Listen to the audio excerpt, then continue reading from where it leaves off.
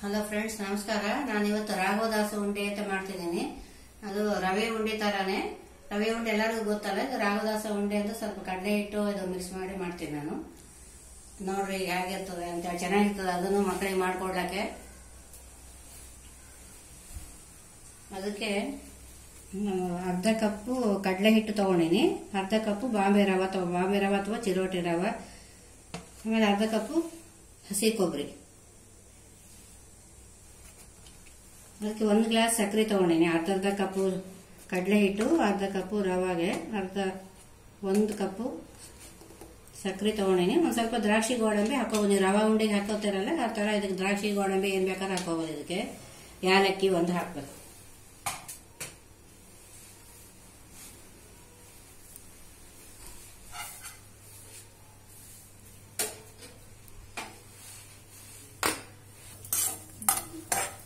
ತುಪ್ಪದ ಗೋಡಂಬಿ ಹುರ್ಕೊಂತೀನಿ. ದ್ರಾಕ್ಷಿ ಗೋಡಂಬಿ ಹಾಕ್ಬೋದು, ಎಲ್ಲ ಹಾಕ್ಬೋದು. ಬೇಕಾದ್ರೆ ಬಾದಾಮಿನೂ ಹಾಕ್ಕೋಬೋದು ನಾನು ಬರೀ ಗೋಡಂಬಿ ಸುಮ್ಮನೆ ಹಾಕಿ ತೋರಿಸೋಣ ಅಂತ ತೋರಿಸ್ತಾ ಇದ್ದೀನಿ.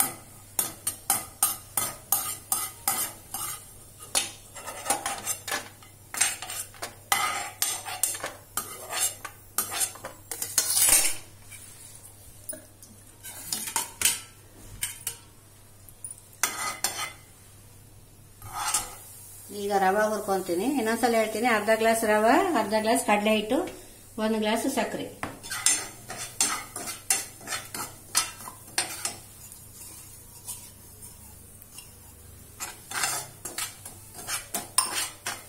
ಎಲ್ಲ ಸೇಮ್ ರವೆ ಉಂಡೆ ಹುರಿದಾಗೆ ಹುರ್ಕೊಳ್ಳೋದು, ಸೇಮ್ ಎಲ್ಲ.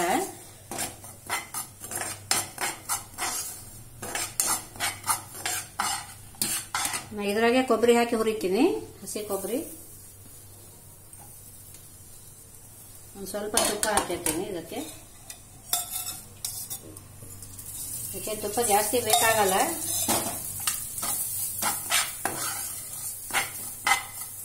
ಸ್ವಲ್ಪ ಕೆಂಪಾಗಿ ಹುರ್ಕೋಬೇಕು ಇದನ್ನು. ರವೆ ಉಂಡೆ ಹುರ್ಕೊಂತೀರ? ಆ ಥರ ಇದನ್ನ ಸ್ವಲ್ಪ ಕೆಂಪಾಗಿ ಹುರ್ಕೋಬೇಕು. ಸೊ ತೀರಾ ಕೆಂಪಲ್ಲ, ಸ್ವಲ್ಪ ಬ್ರೌನ್ ಕಲರ್ ಬರಬೇಕು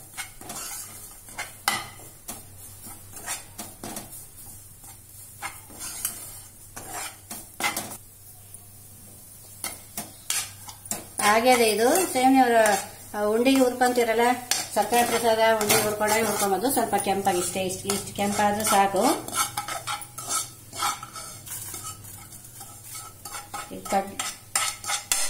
ಈಗ ರವೆ, ಕೊಬ್ಬರಿ ಎರಡು ಹುರ್ಕೊಂಡಿನಿ. ತುಪ್ಪ ಹಾಕಿ.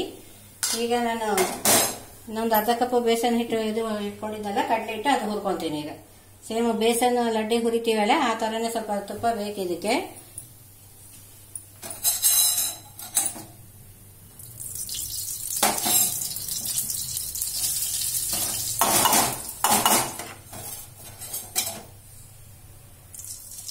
ಇದನ್ನು ಬೇಸನ್ ಹುರ್ಕೊಂಡಾಗೆ ಸ್ವಲ್ಪ ಬ್ರೌನ್ ಕಲರ್ ಹುರ್ಕೋಬೇಕು.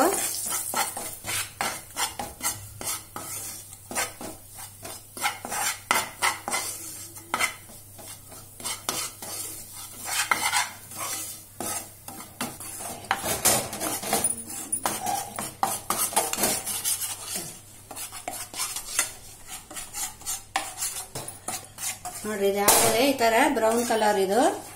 ಈ ಥರ ಹಿಂಗೆ ಬರಬೇಕು? ಸ್ವಲ್ಪ ಗೋಲ್ಡ್ ಕಲರ್ ಬರಬೇಕು. ವಾಸನೆ ಬರ್ತದೆ ಆಲೆ ಘಮ ಘಮ ಅಂತ.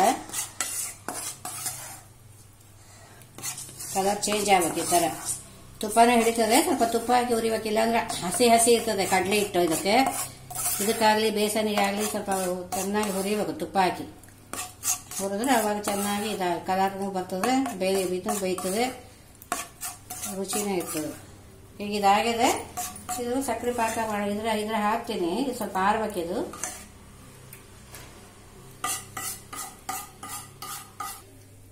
ಇದು. ಪಾಕ ಮಾಡ್ಕೊತೀನಿ ಈಗ. ಸ್ವಲ್ಪ ಮುಣಗಷ್ಟೇ ಹಾಕ್ರಿ ನೀರು. ಜಾಸ್ತಿ ಆದ್ರೆ ಭಾಳ ಹೊತ್ತು ಪಾಕ ಬರಲಿಕ್ಕೆ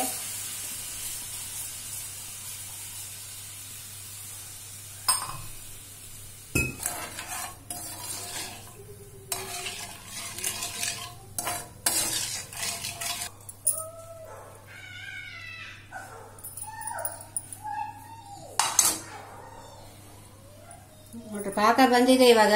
ತೀರಾ ಗಟ್ಟಿ ಪಾಕ ಬೇಡ. ಮೈಸೂರು ಪಾಕ್ ಪಾಕನೇ. ಈಗ ಪಾಕ ಬಂದು ಈಗ ಹಾಕಿದ್ರೆ ಮುತ್ತು ಕುತ್ಕೋಬೇಕೀಗೆ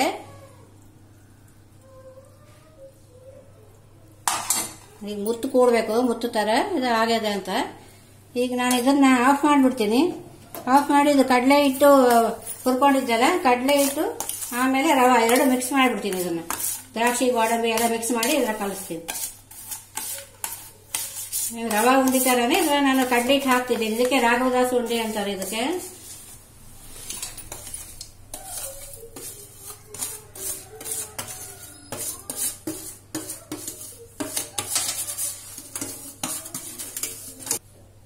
ಏಲಕ್ಕಿ ಪುಡಿ ಹಾಕ್ತೀನಿ. ನೀವು ಎಷ್ಟು ಬೇಕಾದ್ರೆ ಅಷ್ಟು ಹಾಕೊಡ್ರಿ ಘಮ ಘಮ ಅಂತ. ಇದಕ್ಕೆ ಕೊಬ್ಬರಿ ಏನೂ ಇಲ್ಲ. ಇದಕ್ಕೆ ಒಣ ಕೊಬ್ಬರಿ ಆಗಲಿ ಯಾವುದೂ ಇಲ್ಲ.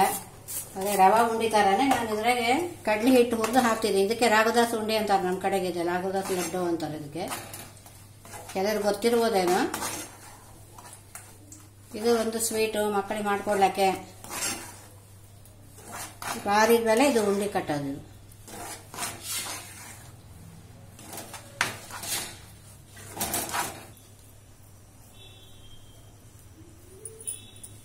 ಆಗಿದೆ ನೋಡ್ರಿ ಎಷ್ಟು ಹಳ್ಳಕ್ಕಿತ್ತು, ಆರಿದ ಮೇಲೆ ಹಿಂಗಾಗ್ತದೆ.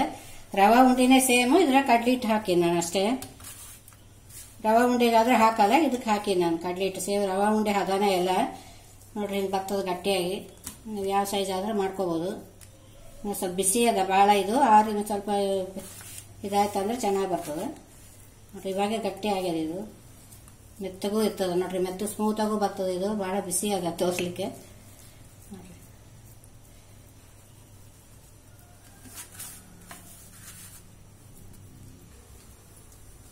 ಇದ್ರೊಳಗೆ ನಾನು ಬೇಸನ್ ಉಂಡಿನೂ ತೋರಿಸ್ತಾ ಇದ್ದೀನಿ. ಅದೇ ಕಡ್ಲಿಟ್ಟೆ ಒಂದು ಕಪ್ ಹಾಕೊಂಡಿನಿ. ಯಾಕೆಂದ್ರೆ ಈ ತರ ಬ್ರೌನ್ ಆಗಿ ಹುರ್ಕೊಡ್ರಿ ತೋರಿಸಿದ್ದಲ್ಲ, ಆ ತರ ಗೋಲ್ಡ್ ಕಲರ್ ಇದಕ್ಕೆ ನಾನು ಯಾಲಕ್ಕಿ ಪುಡಿ ಹಾಕ್ತೀನಿ. ದ್ರಾಕ್ಷಿ ಗೋಡಂಬಿ ಎಲ್ಲ ಹಾಕೋಬಹುದು ಒಂದು ಗ್ಲೋ, ಗ್ಲಾಸು ಕಡಲೆ ಹಿಟ್ಟಿಗೆ, ಒಂದು ಗ್ಲಾಸ್ ಬೇಸಿ ಸಕ್ಕರೆ ತಗೊಂಡಿನಿ ನಾನು ನಿಮ್ಗೆ ಗೊತ್ತಿರ್ತದೆ, ಎಲ್ಲರಿಗೂ, ಕೆಲವ್ರಿಗೆ ಗೊತ್ತಿಲ್ಲ ಅಂತ ತೋರಿಸ್ತಾ ಇದ್ದೀನಿ ಅಷ್ಟೇ. ನೋಡಿ ಇದು ಈ ತರ ಗೋಲ್ಡ್ ಕಲರ್ ಬರಬೇಕು. ತುಪ್ಪ ಸ್ವಲ್ಪ ಹಿಡಿತದೆ ಇದಕ್ಕೆ. ಒಂದು ಗ್ಲಾಸು ಕಡ್ಲೆ ಹಿಟ್ಟಿಗೆ, ಒಂದು ಗ್ಲಾಸು ಸಕ್ಕರೆ ಇದನ್ನ ಮಿಕ್ಸಿಗೆ ಹಾಕೊಂಡ್ಬಿಡಬೇಕು. ಪುಡಿ ಪೌಡ್ರು ಹಾಕ್ಬೇಕು ಇದಕ್ಕೆ. ಇದಿಷ್ಟು ಹಿಡಿತದೆ ಇದಕ್ಕೆ.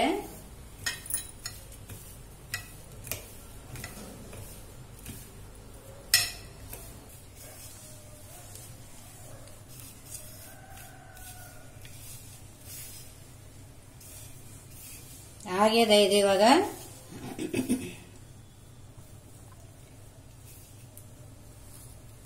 ಚೆನ್ನಾಗಿ ನಾದಬೇಕು. ನಾದಿದ್ರೆ ಸ್ವಲ್ಪ ತುಪ್ಪ ಬಿಟ್ಕೊಂತದೆ. ಜಿಡ್ ಜಿಡ್ ಚೆನ್ನಾಗಿರ್ತದ ಊರಾಗ ಬರ್ತದೆ ಇನ್ನು.